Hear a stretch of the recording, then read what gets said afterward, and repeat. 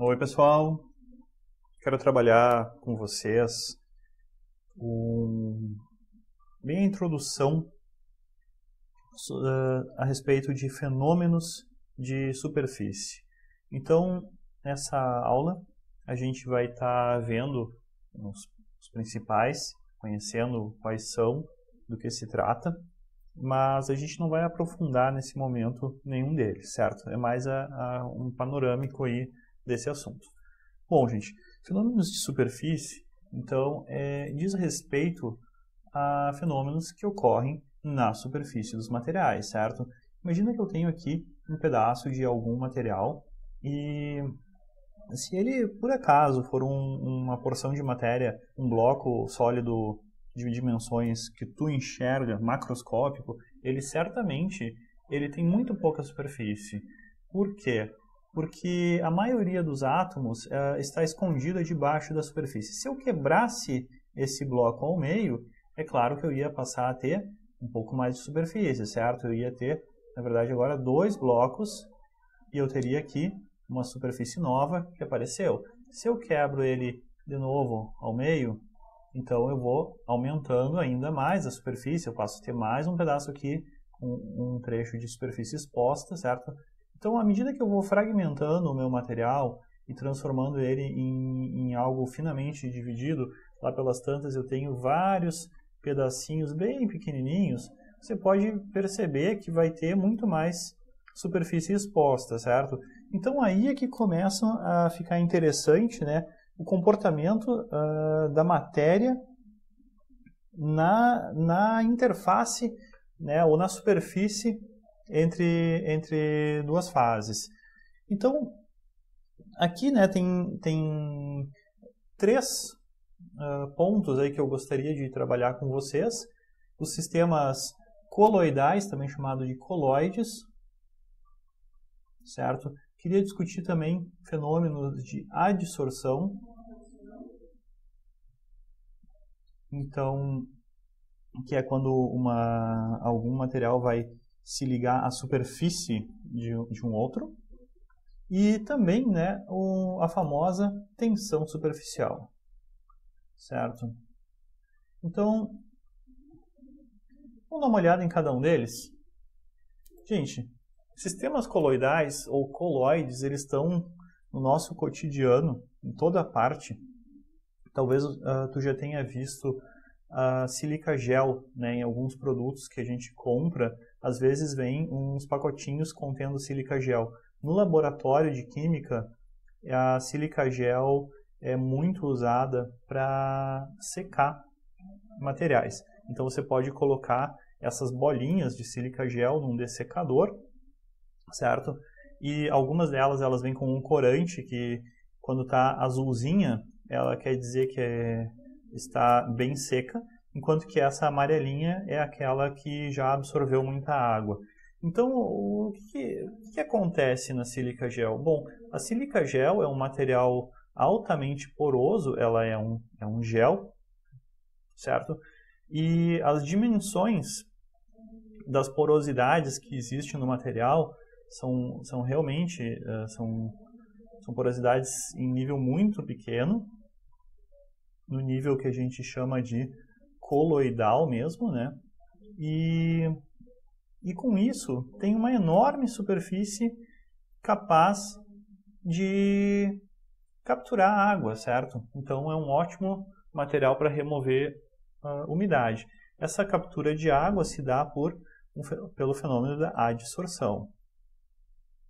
Então, uh, a gente já vai olhar como é que ela é estruturalmente. Mas Outro, outro sistema que é coloidal, que está no cotidiano da gente, né, são, tem vários alimentos que na verdade são colóides. Um copo de leite, por exemplo, por que um copo de leite ele não é clarinho que nem um copo de água? Por exemplo, se eu pegar água pura, água com sal ou água com açúcar e misturar, fica uma solução né, límpida, transparente, uma solução verdadeira. O leite não é uma solução verdadeira, certo? Mas tampouco é uma mistura heterogênea que a gente está acostumado, porque uma mistura heterogênea, se eu, se eu jogasse areia na água, areia toda profunda, eu ia enxergar, a areia está aqui, a água está por cima. Então, o que, que acontece no leite? É um, é um material coloidal, isso é, é uma dispersão, é uma dispersão coloidal, em que você tem partículas muito, muito, muito pequenas de proteína e gordura, certo? Só que elas uh, são tão, tão, tão pequenas que você não tem a menor chance de enxergar individualmente essas partículas. E elas também não vão sedimentar no fundo do recipiente, certo? Então tem essa aparência leitosa porque espalha a, a luz que incide, certo? Ela não, não, não fica transparente, justamente porque tem partículas de diferentes densidades, de diferentes índices de refração. E a ordem de grandeza dessas partículas né, é bem o que caracteriza a dispersão coloidal.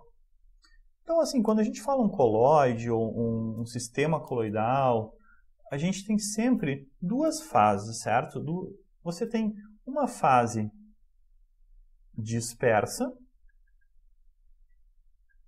certo? E uma fase uh, que a gente diz que é contínua. Então, essa fase dispersa, por exemplo, no caso do leite, seriam as gotículas de proteína e gordura. Então, essas gotículas elas estão dispersas dentro de, uma, de um líquido, certo? Esse líquido é a fase aquosa. Então, no exemplo do leite, né, a, a fase contínua, ela é o meio dispersante.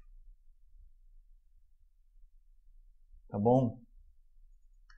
E, e a fase dispersa, também chamada de fase descontínua, é aquela que tem as partículas né, que talvez elas nem se tocam entre si e elas estão espalhadas. Tá legal? Além disso, né, o que, que caracteriza o coloide? É que, sendo um sistema heterogêneo, um sistema que tem duas fases, certo? É, essas heterogeneidades elas não estão na escala macroscópica, certo? Elas são da ordem de 1 a 1000 nanômetros certo? Então tem que ser dessa ordem de grandeza aqui, de tamanho das, das heterogeneidades, para que caracterize um sistema coloidal, um coloide. Então, um, dois exemplos aqui que a gente poderia olhar, imagina que a gente está vendo um modelo né, ao nível molecular, em que tem essas partículas dispersas num meio. Então, à esquerda aqui, eu tenho aquilo que se chama de Sol. Então, o Sol representa né, um coloide em que você tem partículas dispersas em um fluido. Então, eh, uma maneira né, de você pensar um, um exemplo de Sol seriam uh, partículas de fumaça no ar, por exemplo. O ar é uma fase fluida, certo? É uma fase gasosa, portanto é fluido. E partículas de fumaça muito fina, elas vão estar dispersas mais ou menos que nem esse modelo aqui está te mostrando. Então a fumaça no ar é um exemplo de sol. Poderia ser também a neblina, certo? O nevoeiro. Você tem partículas de líquido, água líquida, dispersas no ar. Outro exemplo é as gotículas de proteína e gorduras né, no leite, em que você tem partículas de proteína e gordura dispersas uh, numa fase aquosa, certo? Então, isso são exemplos de sol. Aqui, à direita, nós temos o que é chamado de gel. O que é um gel? O gel, as partículas uh, se ligam, certo? as partículas coloidais uh, se ligam se ligam em um retículo. Então, uh, o meio uh, uh, o meio dispersante, o meio, a fase contínua, por exemplo, né, o, que, o solvente que está no meio dessas partículas aqui, ele às vezes fica capturado, certo, dentro de regiões, segmentos aqui entre essas redes aqui, esses filamentos das partículas coloidais. Então, um exemplo né, bem, bem conhecido é a gelatina. Então, o que, que acontece na gelatina? Você, quando prepara a gelatina, que é, é um material à base de uma proteína, certo? É dissolvido em água quente. Conforme esfria, as partículas dessas proteínas elas vão formar um reticulado. Esse reticulado aqui dá uma estrutura, dá uma certa rigidez, mas ainda tem um monte de água capturada no meio, né, nos, nos, espaços entre uh, uh, nos, nos, buracos dessa rede, certo? Então isso caracteriza um gel. Existem uh, outros sistemas coloidais, certo? Emulsões são também um exemplo importante. Né? A maionese é uma emulsão envolvendo óleo e água e que tem partículas né, dispersas, partículas de água dispersas numa fase óleo, por exemplo. Então, enfim, uh, tem muitas e muitas e muitas aplicações, muitas e muitas, uh, muitos produtos, muitas situações em que os colóides são importantes. Outro assunto que, que é relevante aqui em fenômenos de superfície é a dissorção, certo? Então, você tem talvez o material adsorvente mais conhecido é o carvão ativo. Então, o que, que acontece aqui? Nessa imagem que vocês estão olhando, nós tínhamos uma, uma solução com um corante, certo? Poderia ser uma bebida colorida. E você adiciona carvão ativado e mexe e espera um tempo. O que acontece? O corante é, é todo capturado pelo carvão, certo? E como assim ele é capturado? O que, que acontece? Acontece que as partículas do carvão ativo elas são partículas com uma grande área superficial. Elas têm uh, poros e esses poros têm uma grande, grande, grande área superficial lá por dentro, certo? Então, muito material pode ficar aderido na superfície. E isso é o que a gente chama de adsorção. Então você não pode, não deve confundir absorção com adsorção. A adsorção é na superfície, é uma aderência a uma superfície, por assim dizer, tá bom? Então você pode, né, remover uh, corantes e também pode remover odores, né, tranquilamente por adsorção com carvão ativado. A ideia é que você tem uma superfície né, do sólido. Nessa superfície, uh, moléculas podem vir a interagir fortemente e ficar presas ali. São o que nessa figura são chamados de sítios ativos aqui, certo? Então isso aqui poderia ser a superfície do material sólido e aqui por cima um acúmulo de material adsorvido. Tem material ligado diretamente na superfície e outras camadas que estão se formando por cima, certo? Então, esse aqui é um exemplo de adsorção em múltiplas camadas uh, na superfície do material sólido. Para a gente diferenciar absorção de adsorção,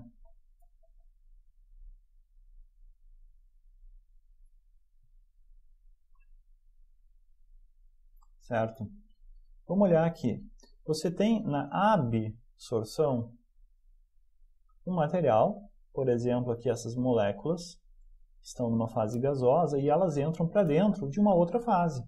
Tranquilo? No caso aqui, no desenho seria um líquido. Então, um, um gás que é absorvido por um líquido, né? um gás que é capturado por um líquido. É um fenômeno de absorção. Agora, quando o, o material é capturado e fica na superfície de um, de um outro, nós estamos falando de adsorção. Então aqui, moléculas que vêm uh, com a fase líquida, elas se depositam na superfície de um sólido e ficam ligadas a essa superfície, certo? Elas têm uma aderência, ou seja, estão com uma ligação a essa superfície. Então, isso é o que chama adsorção. Então, a sílica gel que a gente mencionou antes, ela é um ótimo adsorvente capaz de capturar a umidade. Ela é um gel, ela tem uma enorme superfície de contato, né? Então, se você secar a sílica gel, leva a sílica gel ao forno por um tempo e remove a umidade que ela tem, e tu leva essas bolinhas de sílica gel para onde for, para um recipiente fechado, ela vai começar a capturar toda a umidade que está ali. Então, isso é, uma, é um, um, uso da adsorção. Tem muitos outros usos, certo? Mas está aí uma das aplicações. Tranquilo? Então tá. Uh, e por fim, também quero discutir com vocês a famosa tensão superficial. Então, tem um monte de experimentos no cotidiano que a gente vê a tensão superficial.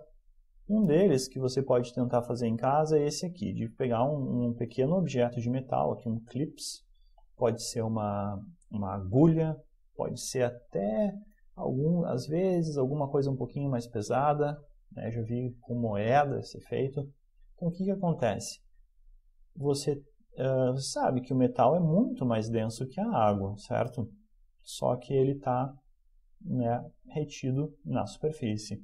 Então, como é que ele pode ficar retido aqui? Pois é, isso tem a ver então com um fenômeno chamado tensão superficial. É que as moléculas de água elas têm uma grande uh, força de atração umas pelas outras, e então a superfície do líquido ela se comporta mais ou menos como se fosse uma. Imagina uma borracha esticada, certo? Ela é, ela é tensa. Ela tenta encolher e reduzir a superfície exposta. Uma borracha esticada, um elástico esticado, ele está tentando, fazendo força para encolher. E a superfície de líquidos se comporta assim, certo? E quanto mais forte a, a força intermolecular ou força entre as partículas, resulta em maior tensão superficial. Então, outro, outra situação que acontece, né, o uso da tensão superficial por parte de alguns animais, alguns bichos como esse inseto aqui, eles caminham na superfície da água e não afundam, porque eles se apoiam também na superfície da água que tem uma tensão, ela é como uma borracha esticada, por assim dizer.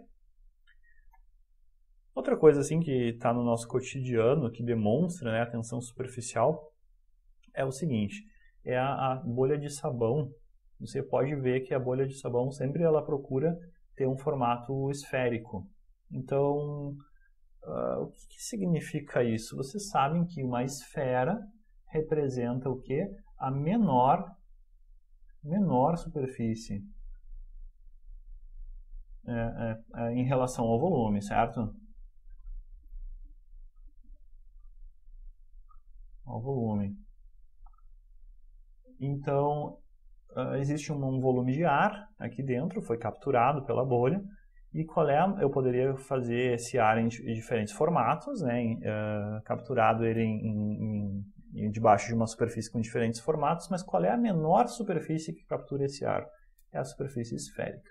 E por que que fica então com a superfície esférica? Bom, porque a tensão superficial dessa, dessa, uh, desse líquido vai levar ele a não assumir outro formato que tenha uma superfície maior. Ele tenta encolher a sua superfície. Lembra, como eu falava, um, elástico tenta encolher, né? um elástico esticado ele tenta encolher. E aqui é semelhante, né? uma, uma superfície vai tentar ser a menor possível.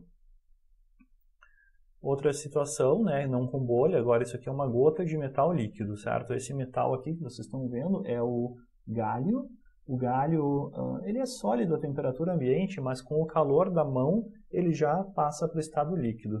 Fica parecendo uma gota de mercúrio. Não sei se vocês já viram gotas de mercúrio. Tem essa, esse jeitinho, assim, só que com a diferença que o galho não é tóxico. Então, uh, por que uh, essa preferência pelo formato esférico? Né? O que está acontecendo aqui? Bom, existe uma grande, uma enorme tensão superficial é, no galho líquido.